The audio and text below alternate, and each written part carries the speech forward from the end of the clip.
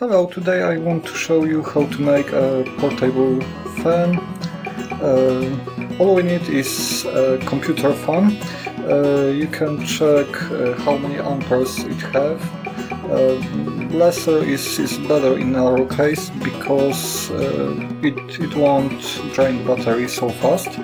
Uh, so every we have to cut out the connector. It's it's cut out already. Uh, so we have uh, three cables. We need two, just red uh, and black. Uh, so the first thing we need to do uh, is uh,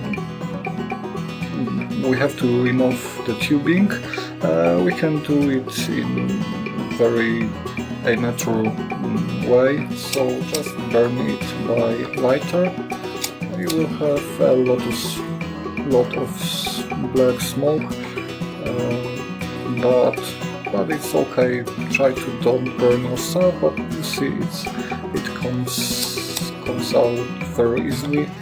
Just burn a bit and if it's burning just blow on it and it will be okay. Uh, so now we have a fan uh, a battery.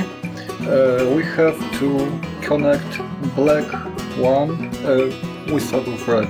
Red one to the smaller connector. It's a 9 volt battery, just standard, you will buy it in many shops. It's a bit expensive, but you can find a cheap one. Uh, so you take a duct tape and plug it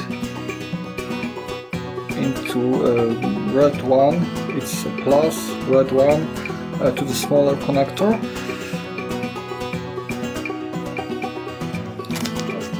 tape and try to tape it. But I show you how to do it by without taping it. Uh, so now you have a, a, bigger connector.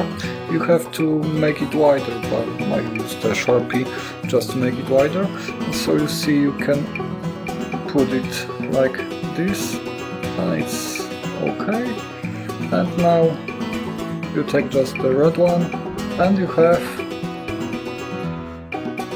a nice portable fan. You can use it in the train or whenever you want. It's really simple so so you don't have to uh, you don't have to worry about it try yourself, it's very easy. Thank you, good luck, goodbye. Uh, remember to visit my website. Goodbye.